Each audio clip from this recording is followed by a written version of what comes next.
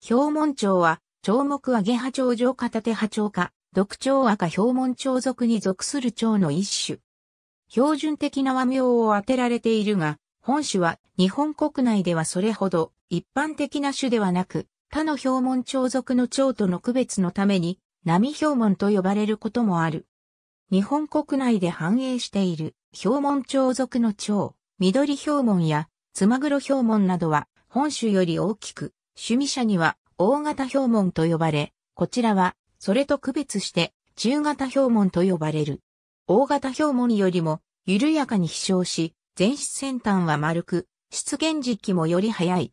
また大型氷門の成虫は秋まで見られるものが多いが、本種は夏の終わりとともにいなくなる。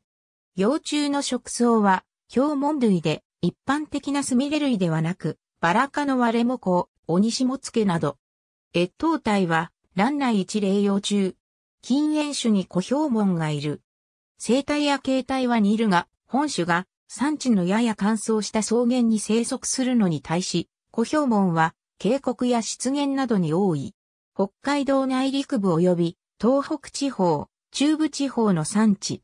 国外ではユーラシア大陸北部。ありがとうございます。